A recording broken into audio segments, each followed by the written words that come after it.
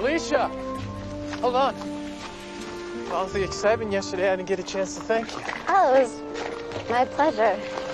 It's actually kind of a relief to be able to share my ability with someone. Is that what it takes to be friends with you? Or?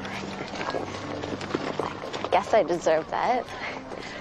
I'm not really as stuck up as everyone thinks.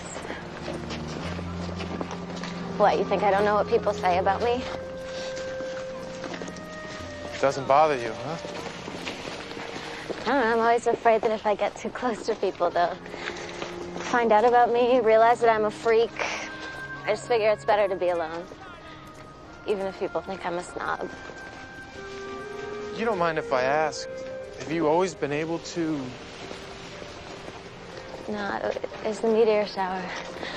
One minute I was swinging on the swing set, and the next thing I knew, I'm in the middle of a cornfield. Do you know how it happened? Sort of. And once I was old enough to realize I was different, I did some research and. Thank you. Um. I don't know, there's a complicated explanation about quantum physics. You'd probably be bored. Um...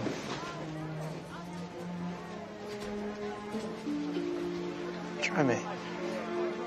Basically, the meteor shower affected my body and allowed me to teleport myself. And anything you touch. And anything I touch, I want to take with me. Yes.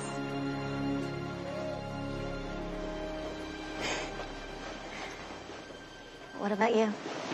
Was it meteor exposure too? Everything's pretty much connected to the meteor shower. Right? Right.